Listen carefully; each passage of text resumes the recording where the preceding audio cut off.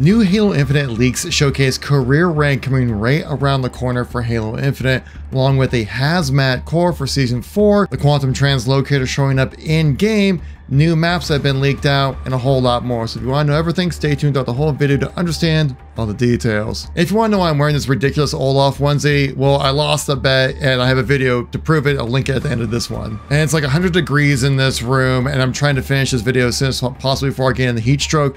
So let's get right into it. But there's always time to tap that like button, so please do if you want to stay updated with everything going on with Halo, make sure you tap subscribe. So let's get right into the content here. So these are the ranks right here that have been revealed, leaked out by Bathrobe Spartan, showcasing what your season four, possibly season four career progression is going to look like. And you can see with these emblems that they look nice. They're kind of ba- pretty much based off of the already like pre-existing ranking system. I have like gold, platinum, bronze, silver, onyx, and all that kind of stuff, right? I do feel like they are missing a bit of a emblem kind of thing towards the high end tier. I'm assuming this one with like the eagle ink, as it does stand out amongst the other ones, is probably like the ultimate tier to be able to showcase like your max rank and stuff like that. But think of like in Halo Reach, right? We had like Inheritor, had a really sweet, unique logo to it. This one has it a little bit, but just not as say as interesting as the traditional Halo ranks are. But hey, it looks cool enough. It's going to be in the game. I'm excited about it. Bathrobe Spartan also gives a bit of a hint of how many levels there are, saying, Did you enjoy going up 152 levels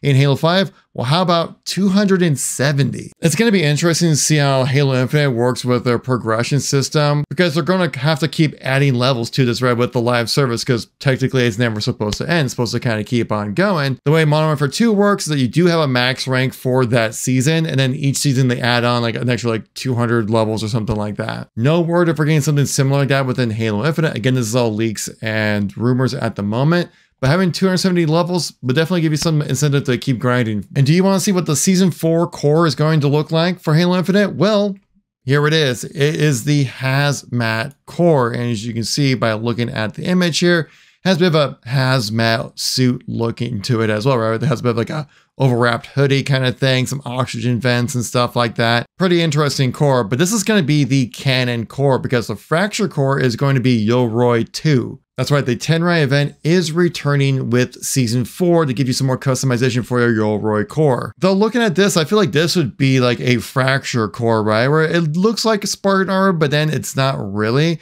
Uh, this also is supposed to tie into with Infection coming in within Season 4, but Infection is going to be like an AI infecting your neural interlace kind of thing as a Spartan, so there's no need for like a gas mask kind of looking Spartan like we have right here, because there's no like infection like the flood in a way. This is happening like digitally with the Ratus taking over people's armor. And I'm all for Tenrai coming back because there's such a limited customization right now with the Yoroi armor set.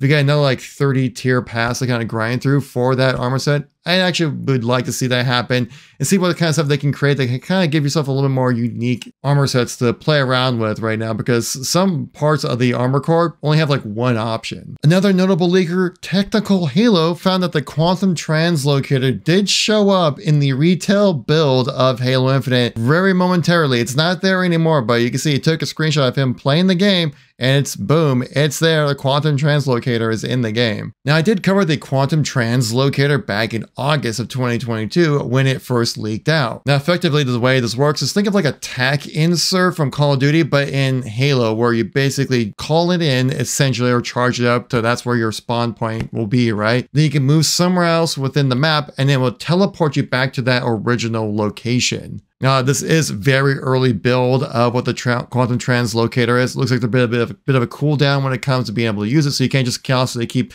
teleporting back and forth. But you can see like this really cool usage jumps off the map, teleports back where you could probably get even a back smack on somebody. This is gonna be a total game changer when it comes to the sandbox of Halo Infinite. And I'm definitely excited to see what kind of moves people can pull off with this. This is something really unique and cool. Will help freshen up the gameplay of Halo Infinite, which, I mean, we need some fresh uh, elements coming into this game soon. Next, let's talk about some leaked maps that recently got put onto the internet, guys. And I did cover this one in a previous video, but just so we're all on the same page here, right? This is the remake of Halo 5's Plaza in Halo Infinite's Forge mode, which looks incredible in my opinion. I know a lot of people are not super happy about it having a different aesthetic to it, though, to my opinion, It looks awesome. I'm definitely excited to play on it. I actually kind of like this visual a little bit more than Halo 5's, as it was a little too green, a little too sci-fi kind of looking thing.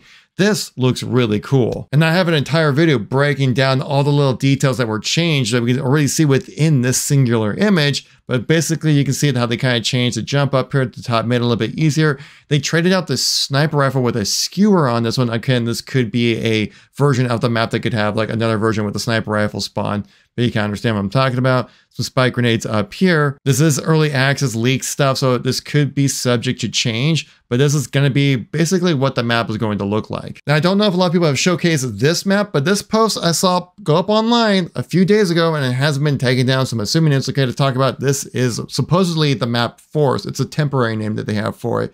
As you can see, this looks very much inspired from like the sanctuaries, the like Halo 2 Delta Halo mission and stuff like that. There's some ancient Forerunner structures, which I think is one, a nice change of pace when it comes to the aesthetic of maps within Halo Infinite. And two, I mean, this just looks super cool. We need more natural environments, and this is definitely going to capitalize on that experience. I do believe other images of Forest have been leaked out recently, but again, I just want to be a little more safe with my discussion and my show here. Uh, if you want to look more into it, you can find internet searches here online. Type in Forest, Halo Infinite, leaked map, you'll probably find it. Okay, so before I suffer heat stroke, the reason why I'm wearing this Olaf onesie is, well, discussed in this video if you guys want to know why. Thank you all for watching. Catch you on the next one. Peace out.